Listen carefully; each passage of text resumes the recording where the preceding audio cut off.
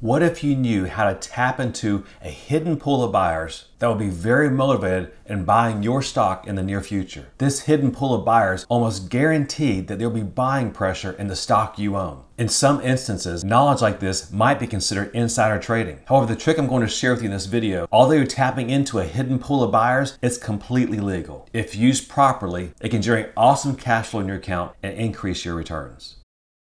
In this video, I'm going to share with you some knowledge we had that let us tap into this hidden pool of buyers that enable us to generate a very safe, over 22% annualized, non-leverage return on a very stable stock. First, I'm going to share with you all the details on the trade we did. Then I'm going to show you why it worked out so well for us. And finally, I'm going to show you how you can find similar type of trades by tapping into this hidden pool of buyers that can help you generate these consistent, awesome returns. Here you see this trade alert I sent out to my patrons on May 17th when we entered this covered call position in Verizon. Notice that we bought 100 shares of Verizon and simultaneously sold to open the Verizon July 21st $36 covered call option. This position ended up costing us a net of $34.92 per share. And by selling this $36 covered call option, we committed to selling Verizon at $36 per share at any point between now and the July 21st expiration. Well, what happened? Fast forward to July 7th, and as you can see here, Verizon was called away from us as a result of that $36 covered call option that we had sold. So July 7th, we sold 100 shares of Verizon at $36 per share. Notice that the expiration date of the covered call option we sold was July 21st.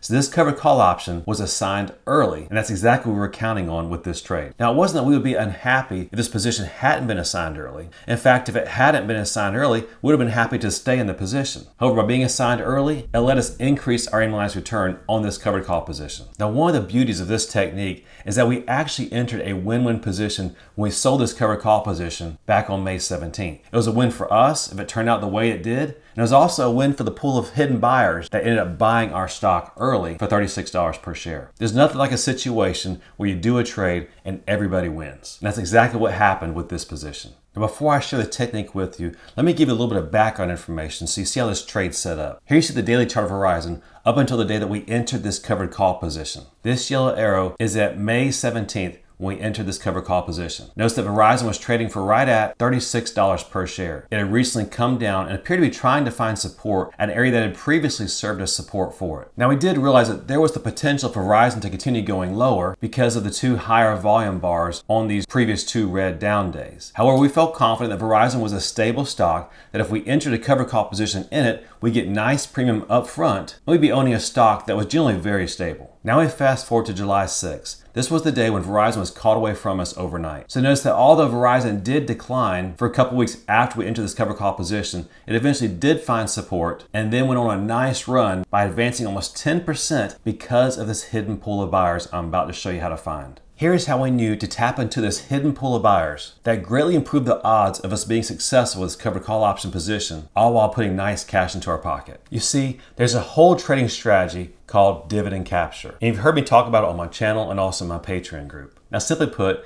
this is a trading strategy that focuses on buying stocks that are about to go ex-dividend and owning them just long enough to receive that dividend. So it's a timing-oriented trading strategy used by investors designed to collect as much dividends as possible. They like to buy these stocks right before the ex-dividend date, usually the day or two before the ex-dividend date, and then capture that dividend, and then generally they'll sell the stock afterward. This is the hidden pool of buyers that we use to generate this awesome return in our Verizon covered call position. There are two important things to check for when tapping into this hidden pool of buyers. Now it's preferable for the stock that you're doing a covered call position in to be trading right around an area that has served as support for it in the past and appears to be serving as support for it again. And here we see Verizon was indeed trading in an area that had served as support for it going back to the middle of March. Now this support ultimately did fail. However, the second important thing is what saved our trade. See, the second thing I like to see when I'm looking for these hidden pull of buyers is I like to be trading in a stock that has a very high dividend. And as you can see here on Seeking Alpha, that's exactly what we got with Verizon. Notice the dividend that was paying when it went ex-dividend on July 6 was 65 cents per share. So it's paying an over 7% annualized dividend out to its stock owners. That 7% dividend is hard for a dividend capture trader to ignore. How do we find these opportunities like Verizon so we can tap into this hidden pool of buyers? Well, here are the five things that I look for. First, we prefer a stock that has been declining but appears to be finding support or trading right around a level where it should find support. Second, we want a nice big dividend like we see here with Verizon. Now, back when we did this trade, the dividend was just over 7%, and now it's actually even higher than that at around 8%. Third, we want to sell a covered call option either at the money or even in the money if we want a little more protection. Remember when we entered this covered call position in Verizon, we sold the $36 strike price covered call. But that covered call option was actually in the money when we did the trade. By selling that covered call option at the money or in the money, it gives us some protection because we collect maximum cash up front, which helps us if the position ends up going against us. And then fourth, we want to use an expiration date that is as close to after the ex-dividend date as possible. And the reason that if the option is in the money, then there won't be much time value left in the option we sold. So traders who are looking to capture a dividend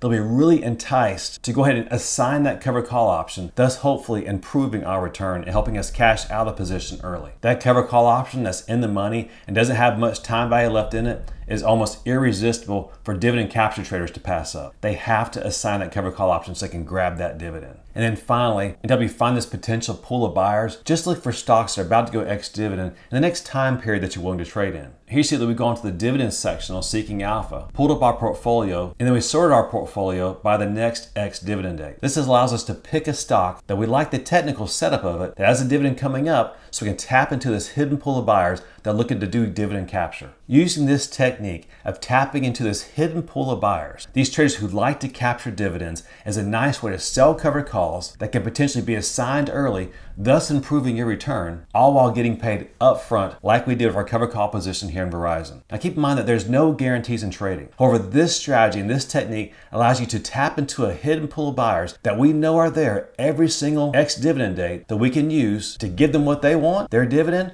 but also pay us a really nice return if we're assigned early on the cover call position. And if we're not assigned early, then what's the worst that can happen? Well, then we get a dividend on top of the cover call premium that we received. As you saw with this Verizon position, just because we have dividend capture traders that are going to swoop in and buy our stock, it does not mean that it'll be enough momentum to pull our stock up through our cover call strike price, thus guaranteeing that our cover call will be assigned. Stocks can also go down even when we expect them to go up. However, this technique does improve the odds of a stock responding the way we expect it to because of this hidden pool of buyers. If you'd like to get an alert when we do trades, like this cover call position in Verizon that I share with you, in which we were able to pocket an over 22% annualized non-leveraged return, consider the benefits of becoming a patron down at the link in the description below. If you'd like to see how we use covered call options every single month to generate awesome cash flow in return, check out the video series at the link above and in the description below entitled Covered Call Option Trading Explained with Real Life Examples. Until next time, happy investing, and we'll see you again soon.